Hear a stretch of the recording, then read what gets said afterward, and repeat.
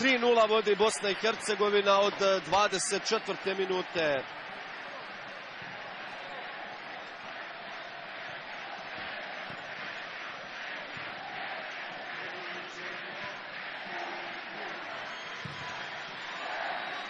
prava majstorija Džeke, evo vidjet ćemo je još nekoliko puta i uživati.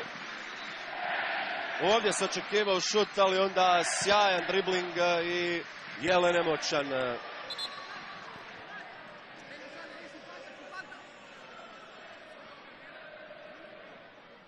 Šunjić dobro skače, Pjanić, Bešić